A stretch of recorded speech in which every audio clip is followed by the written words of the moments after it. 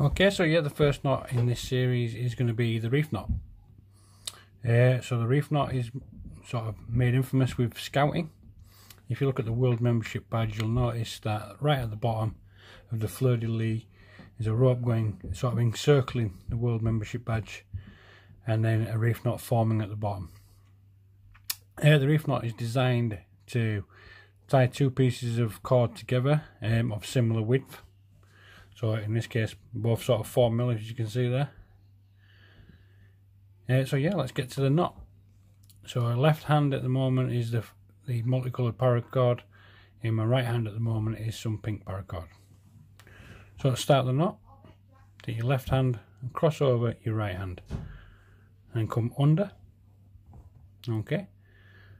And then your what was in your left hand now appears in your right hand and just do the reverse so right over left and under and then pull tight.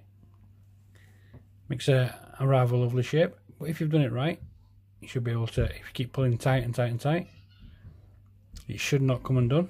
However if you just work it a little bit and then if you push in opposite directions it should just keep looping like this. So yeah that's the reef knot